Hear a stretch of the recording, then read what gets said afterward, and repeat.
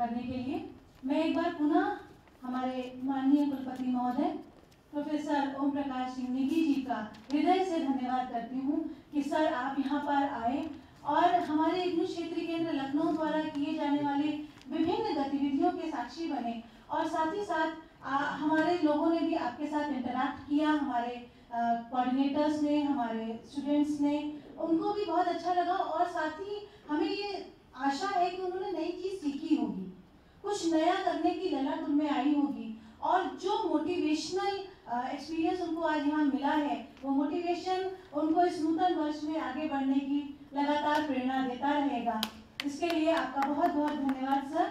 हमारे regional director महोदय जिनके निर्देशन में ये सारे हम लोगों के ने ये सारा काम किया मैम हम आपको भी एक बार पुनः धन्यवाद देते हैं।